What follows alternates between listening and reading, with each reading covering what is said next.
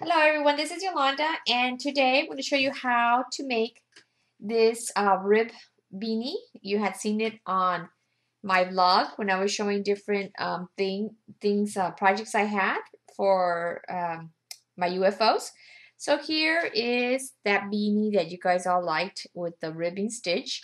This one I'm doing the one that starts from the top of the head here and down. And because um, of the ribbing effect, um, it comes out really tight so you may want to use a one hook uh, size larger than what I'm recommending below on the description box.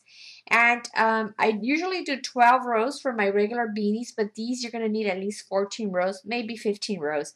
So that's really up to you. So I hope you enjoyed this video. Let's get this party started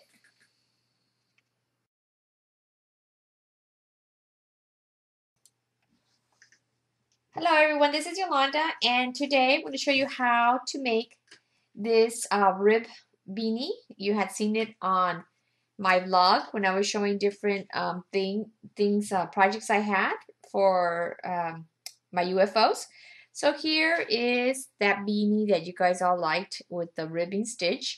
This one I'm doing the one that starts from the top of the head here and down. And because um, of the ribbing effect, um, it comes out really tight so you may want to use a one hook uh, size larger than what I'm recommending below on the description box.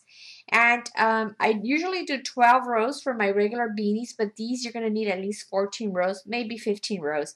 So that's really up to you. So I hope you enjoyed this video. Let's get this party started. Hi everyone. To begin the rib beanie that was on my vlog. Um, I'm going to be using a size J hook, but of course if you're making it for a baby, you would use a, a smaller size, maybe, you know, anywhere from a size F to a H. Um, just look at my beanie instructions. I'll put them here underneath uh, in the video description portion will be the sizing uh, for the different hook sizes. So I'm using the Impeccable. This color is called Lemon. And this week um, at Michael's, uh, the Impeccable is all $1.99, which is the cheapest I've seen it um, the whole year. So I don't get anything from them for telling you. I just thought, hey, you might want to know. To begin this beanie, we're going to begin by four doing four chains. I'm going to wrap the yarn around my finger so I could do my slip loop here. And then I'm going to begin doing four chains. One moment. So I'm going to be four chains. One, for the chain, we wrap the hook around the yarn. Two, three, and we're just pulling out. Four. Now that we have the four chains, we're going to put our hook into the first chain here and slip stitch, meaning we pull the yarn through both of them and it creates that little circle for us. Now, we're going to do a double crochet. We we're going to chain two to go up. One, two, and into here the circle inside here we want to have 12 um, double crochets. Excuse me we do three chains I'm sorry one two three. This one counts as our first double crochet. So here to do the double crochet oops to do the double crochet I want you to wrap the hook around the yarn pull it in through there. Now there's going to be three loops of yarn on your hook you're going to pull through two of them. There'll be two left. And then through two more. So that will be your double crochet. And this would be one, two. So you're going to do 10 more. So go ahead and do that.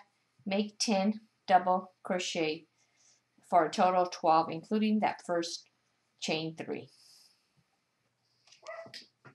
Okay, I finished my last double crochet. And now I'm going to slip stitch into the third chain from the beginning chain. So the ones that we began, remember we went up one, two, three. On that third chain is where I want you to put in your hook. And you're going to come out, pull the yarn, and pull it through your last loop. So your first row should look like this with 12 of these little double crochet posts. To go up, we're going to chain three, one, two, three. This counts as our first double crochet. So here I'm going to wrap, right here I'm going to do another double crochet in that same space. I'm gonna wrap my hook around my yarn, go into that same space that I just came up, and do a double crochet. Because I want you to do in every single one of these chains, you are going to do an increase, meaning there's going to be two double crochet in each chain, so that when you go all the way around, you should have a total of 24 double crochets. In my next chain here, I go in, I do one double crochet, and go back in there again, two double crochet. Okay, so we're doing two double crochets in each chain all the way around. Here's another one. Double crochet. Okay. Continue that all the way around. Two double crochets in each chain for a total of 24 double crochets. Okay, here on my second row, I've done the last double crochet there, the last increase. And I'm going to do the same thing I did before. I'm going to go one, two, three. And on that third chain here, I'm going to put my hook in there and slip stitch. So it should look like this. For row three, we're going to repeat the same thing we did on row two. We're going to chain three, one, two, three, and into that same space there, we're going to do our first double crochet. And now we're going to do a two double crochets in each chain all the way around so that when you go to the end you should have 48 double crochet posts so you're going to have 48 of these little posts so in each chain here you go in there pull through two then through two wrap around go in three loops on the hook two and two you're going to have two double crochets in each chain so go ahead and do that. When you complete it, you will have 48 double crochets. Okay, I finished my last double crochet. So to go up to the next row, once again, I count my chains. One, two, three. And in that third chain, I'm going to slip stitch. I want you to make sure, if you're to be on the safe side, I want you to count every post, including this, to make sure there's 48 on this level. If you have more, that means you put too many somewhere along. The first one, including the, the first um, one here, including the three chains you went up, will have 12. The second one will have 24, and then this one 48. Some of you have written that your um, your work is not laying flat, that it was rippling, and I just realized what you mean. This looks flat, but it actually, if you could see it, it does kind of wave a little bit. It's not flat. But if it's a huge ripple, then you may have too many um, stitches in there. So make sure you have only 48 double crochets at this point. If you have more, um, go back and check where you did it because we need to have 48. So here we're going to begin doing um, one of the st uh, styles of the beanies which had ribbing on the whole beanie. So here, if you uh, if you wanted to have ribbing lower, then you would just start doing this ribbing probably like in row uh, 9, okay? So here to go up, we're going to go 1, two, three chains. Now, this one on the next double crochet, which is our next post here, we are going to begin working in the front and back post alternating, meaning that some of them we will have um, uh, work in the front post, and then some of them we will only work in the back post, okay? Let me try to adjust this here so you can see. So here, I'm going to no longer be working in my chains. I'm going to be working actually in these posts. The first um, post here that I'm going to do a double crochet, I wrap my yarn around my hook and then I'm going to bring in my yarn, grab that front post here, go under the post there, grab, pull out my yarn. There'll be three loops, pull through two, and then my next two. So now I grabbed the yarn is grabbing that front post. We're going to alternate. Now my next post, I have to grab the back post, meaning that I have to bring my work in from behind. So I'm going to wrap my yarn around. I'm going to bring my hook in from behind that post. See, there's that post there. I'm going to grab it, bring my hook around. See? I'm going to pull out the yarn to the side there. There'll be three loops. Pull through two, then through two. So now my yarn is grabbed coming here from the front post and then here it's grabbing it through the back see? So once in front one stitch is in the back. And that's what we're going to do all the way around. If you have never done this stitch you might take a little bit of practice but you'll be able to get it. One more time you're going to go here. Let me see if I could adjust this so I can grab, get closer to you. So here I'm going to wrap my yarn around. I'm going to grab that next front post here, pull my yarn through there. There'll be three loops of thread, yarn on my hook, pull through two, and then the next two. And I've just grabbed that front post and see how it's making that ribbing effect. Now for the back, I'm going to wrap it around. And if it's easier for you, you can lift it up a little bit. I don't do that.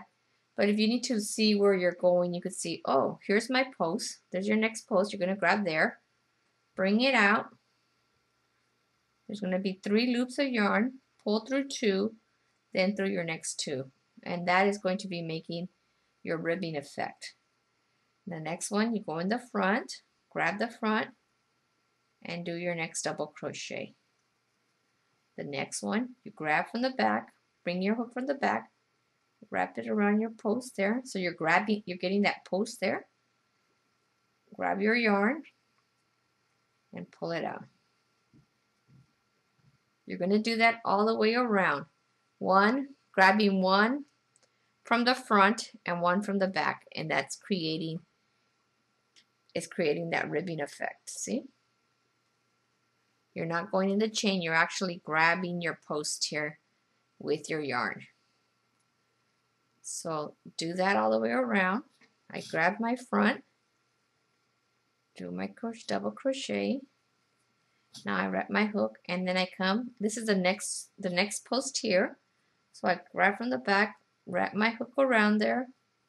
So see it's grabbing the back. I pull out my yarn. Two and two. And like I said it may feel awkward at first but hopefully with some practice you'll be able to do this. And then this stitch you could also use on the cuffs of um, sweaters to give it that little ribbing effect. So do that all the way around. Okay, here I've come to my last um, double crochet in the front post. So here in my beginning three chains, one, two, three, is where I will slip stitch and pull my hook through.